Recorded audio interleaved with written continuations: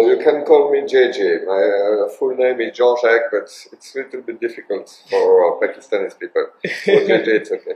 I, I love Pakistani people. They are very nice. Uh, I never saw even Iran, uh, Irani are very nice people, but even Irani people are not so welcome and warmly than Pakistanis, I have to say. And uh, I never been so comfortable with people than in Pakistan. And people are very curious about foreigner, and it's very interesting for a foreigner to travel because it's a lot of you know you're talking a lot, you, you can exchange a lot, and many people are uh, talking, uh, are speaking English, so for me it's more easy. Uh, compared to other countries, for example Kazakhstan or Kazakhstan, they are just speaking Russian, for me it was very difficult, I couldn't speak. So JJ, how long have you spent in Pakistan? Oh, uh, I came in, uh, I think the 11th of uh, February. Okay. So it's quite long now. Okay. Almost two months.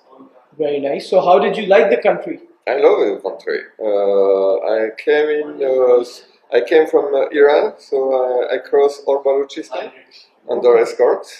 Uh, that's a little bit impressive. Quetta is a very impressive town because you're under escort, and uh, it's very impressive town. And after I went to Shikarpur, Multan, Lahore, Islamabad, and after I go with uh, Nawab in the backside country to see some uh, um, uh, begging, uh, or bull race, uh, or uh, dog race, that stuff like that.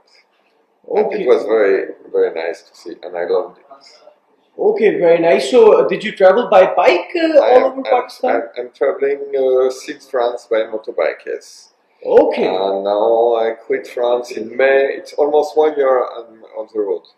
Okay, very nice. That's very impressive. So, uh, how was the bureaucracy and the visa process here?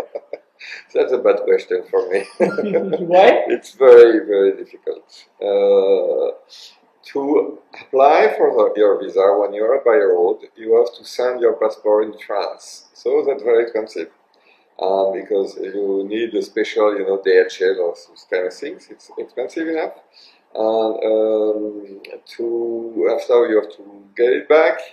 I know a guy. I don't know a guy, but I heard about a guy. Uh, the visa was refused one time, so he, he had to send his passport in his home country twice. In total, the visa cost him 500 euro in total. That's a lot. A lot. And after the visa extension, um, I tried to get it in uh, Islamabad and it's very long. Uh, three weeks, and I just get uh, by fact uh, three weeks extension.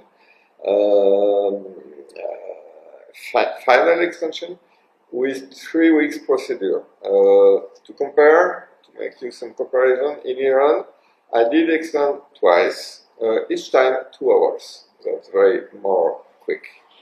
So the visa procedure is very complex. That has to be improved very definitively. I know that your government want to improve with visa on arrival and visa online. It's very good, but it's only by plane, and I'm traveling by road, so I'm not concerned by that.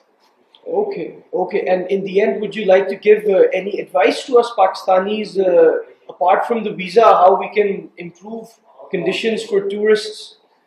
Just stay like you are. Uh, I think many things have to be done, but it's by your government mainly. But the people just stay like you are. Uh, you are very nice, and uh, after it will be a, a, big work to, to, talk about what we can do, what can be done, etc., etc. But that's a, it's a job of you know people who are working on that.